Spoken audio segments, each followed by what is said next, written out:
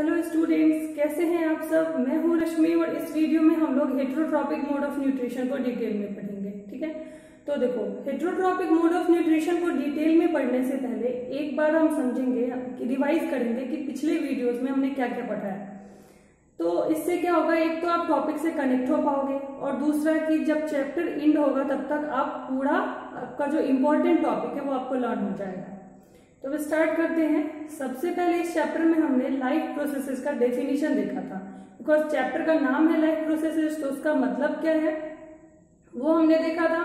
उसके बाद बहुत सारे लाइफ प्रोसेसेस होते हैं, लेकिन जो आपकी एनसीईआरटी में चार मेन है, मैं एक बार वापस नाम बोल देती हूँ।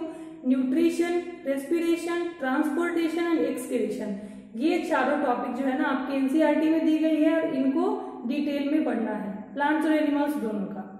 उसके बाद न्यूट्रिशन टॉपिक हमने स्टार्ट किया था और न्यूट्रिशन टॉपिक में हमने डेफिनेशन देखा था न्यूट्रिशन का। उसके बाद जो दो तरह के न्यूट्रिशन दो जो दो मोड होते हैं न्यूट्रिशन के that is autotrophic mode and heterotrophic mode उसको हमने देखा था। फिर उसके बाद ऑटोट्रॉपिक मोड यानी कि ग्रीन प्लांट्स जो आ, का जो मोड होता है जिसमें वो फोटोसिंथेसिस परफॉर्म करते हैं हमने उसको पढ़ा था। ऑटोट्रॉपिक मोड ऑफ़ न्यूट्रिशन में हमने ग्रीन प्लांट्स का जो फोटोसिंथेसिस का प्रोसेस है उसका हमने डेफिनेशन देखा था। हमने उसका रिएक्शन देखा था और जो तीन स्टेप्स आपकी एनसीईआरटी में दी गई है फ़र्स्ट ऑफ़ ऑल जिसमें कि लाइट एनर्जी जो है दैट इज़ ट्रैप ट्रैप किया जाता है। Second is light energy is converted into chemical energy and breakdown of H2O into hydrogen and oxygen and third reduction of carbon dioxide into carbohydrate ये हमने देखा था। उसके बाद स्टोमेटल ओपनिंग एंड क्लोजिंग जो स्टोमेटल पोर्स होते हैं green leaves पे प्रेजेंट होते हैं, उनका कैसे ओपनिंग और क्लोजिंग होता है? किस तरह से जब वाटर गार्ड सेल में एंटर करता है तो गार्ड सेल स्वेल होता है और जो पोर है वो ओपन हो जाता है। जब वाटर जो है वो गार्ड सेल से निकल जाता है तो जो स्टोमेटल पोर है वो क्लोज हो जाता है बिकॉज़ गार्ड सेल जो है वो स्ट्रेट हो जाते हैं। ये सब मैंने आपको बता रखा है। आज की इस वीडियो में हम हेट्रोट्रॉपिक मोड ऑफ़ न्यूट्रिशन को कंटिन्यू करेंगे, ठीक है? तो देखो, इसमें सबसे पहले जो है हेट्रोट्रॉपिक मोड ऑफ़ न्यूट्रिशन वो तीन तरह के होते हैं थ्री टाइप्स के होते हैं। They are parasitic they are saprophytic they are holozoic तो पैरासाइटिक मोड ऑफ़ न्यूट्रिशन ऐसा होता है जिसमें जो ऑर्गेनिज्म है ना, वो हॉस्ट बॉडी यानी जिस बॉडी से प्योर रहता है, उसी से वो न्यूट्रिशन लेता है। यानी कि घर और खाना, दोनों एक ऑर्गेनिज्म के ऊपर ही जब करता है, कोई ऑर्गेनिज्म तो उसको पैरासाइट्स कहते हैं। जनरली उसमें वॉर्म्स आते हैं। उसके बाद जू जो है हेयर में, उसको भी हम पैरासाइट में इंक्लूड कर सकते हैं। बिकॉज़ वो हमारे ही बॉडी में रह रहा है और वहीं से न्यूट्रिशन ले रहा है। उसके बाद saprophytic mode of nutrition saprophytic mode of nutrition ऐसा मोड ऑफ़ न्यूट्रिशन होता है जिसमें organism dead and decaying matter से, सड़े गले चीज़ों से अपना न्यूट्रिशन लेता है। इसका एग्ज़ाम्पल बैक्टीरिया एंड फंजाई हो जाएगा। And third type of nutrition that is holozoic ठीक है? जिसको हम डिटेल में पढ़ेंगे होलोजोइक जो है वो अमीबा के अंदर भी होता है ह्यूमन बींग्स के अंदर भी होता है। यानी कि यूनिसेल्युलर ऑर्गेनिज्म में भी होता है और मल्टी सेल्युलर ऑर्गेनिज्म में भी होता है। हालाँकि जो प्रोसेसेस होते हैं ना, वो दोनों में सेम होते हैं, लेकिन जो अभी हम पहले समझेंगे कि इसमें क्या क्या प्रोसेसेस आते हैं, उसके बाद अलग से हम सेपरेट अमीबा का भी पढ़ेंगे और ह्यूमन बींग्स का भी पढ़ेंगे ठीक है? तो अभी स्टार्ट करते हैं जो हेट्रोट्रॉपिक न्यूट्रिशन में होलोजोइक है, उसमें पाँच ये पॉइंट्स मेनली आते हैं. First of all nutrition nutrition that means intake of solid food जो खाना हम लेते हैं, खाते हैं, चावल के फॉर्म में, रोटी के फॉर्म में या कोई भी चीज़, जो हम कॉम्प्लेक्स फ़ूड अपने माउथ के थ्रू खाते हैं that is that process is called nutrition nutrition के प्रोसेस में इनटेक होता है intake of complex insoluble food insoluble food ठीक है?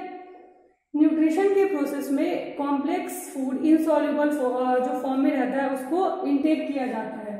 उसके बाद यानी सिंपल लैंग्वेज में जो खाना हम खाते हैं that is that is the process called nutrition second is digestion digestion that means nutrition के प्रोसेस से जो कॉम्प्लेक्स फ़ूड लिया जाता है डाइजेशन के प्रोसेस में उसका ब्रेकडाउन किया जाता है into simple soluble form breakdown of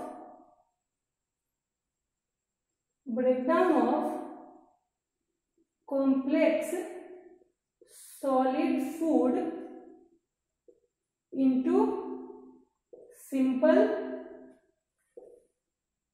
soluble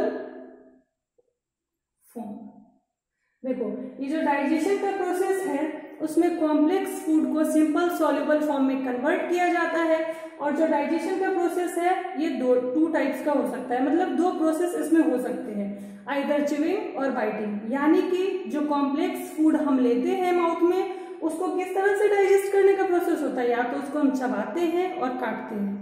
काट के और चबा के बड़े बड़े फ़ूड के जो टुकड़े होते हैं, उनको छोटे फॉर्म्स में तोड़ा जाता है, जो कि हम अपने टीथ के थ्रू दांत के थ्रू करते हैं that process is called digestion ठीक है?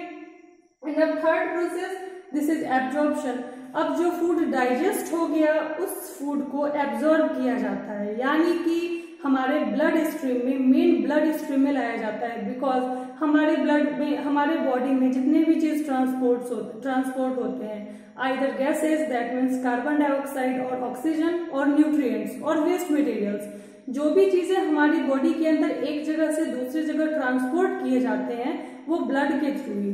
तो जो भी डाइजेस्टेड फ़ूड है, उस डाइजेस्टेड फ़ूड को बॉडी के हर पार्ट में जाना है। डाइजेशन तो हमारा कहीं एक जगह इंटेस्टाइन में होता है, लेकिन जो पूरे बॉडी पार्ट्स हैं top of the head to tip of the toe यानी कि सिर के ऊपर और हमारी पैर की उंगली तक। यहाँ तक हमारे जो डाइजेस्टेड फ़ूड जाते हैं, वो डाइजेस्टेड फ़ूड ब्लड के थ्रू ही जाते हैं। ब्लड में ही आके तो एब्जॉर्प्शन के प्रोसेस में जो डाइजेस्टेड फ़ूड है, वो ब्लड के अंदर आ जाते हैं और बहुत सारे फ़ंक्शंस के लिए सेल के रिपेयर के लिए ग्रोथ के लिए फ़ंक्शन के लिए वहाँ तक न्यूट्रिएंट्स डाइजेस्टेड न्यूट्रिएंट्स जो हमको पहुँचाया जाता है। ठीक है? उसके बाद एसिमिलेशन एसिमिलेशन दैट मीन्स की जो डाइजेस्टेड फ़ूड है उनको पूरे बॉडी में बॉडी पार्ट्स में ऑर्गन्स में सेल्स तक पहुंचाना।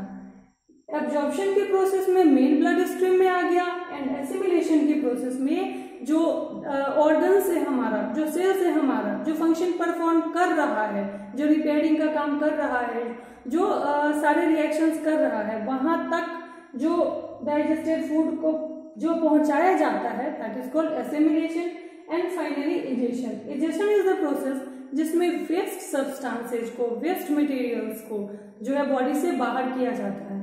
ठीक है? अगर वो सॉलिड फॉर्म में है तो फिशेस के फॉर्म में निकलेगा। अगर वो लिक्विड फॉर्म में है तो यूरिन के फॉर्म में निकलेगा। लेकिन जो भी वेस्ट मटेरियल है, उनको इजेशन के प्रोसेस से बाहर किया जाता है।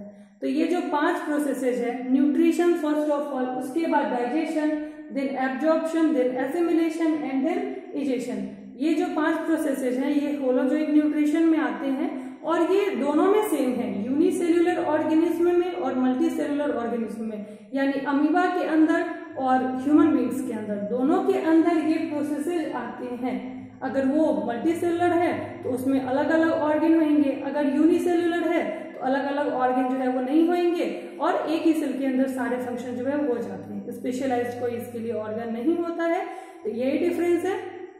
तो ये तो हमने देखा न्यूट्रिशन होलोजिक न्यूट्रिशन को समझा। नेक्स्ट वीडियो में हम लोग सेपरेटली अमीबा का न्यूट्रिशन यानी यूनिसेल्युलर का और ह्यूमन बींग्स का पढ़ेंगे।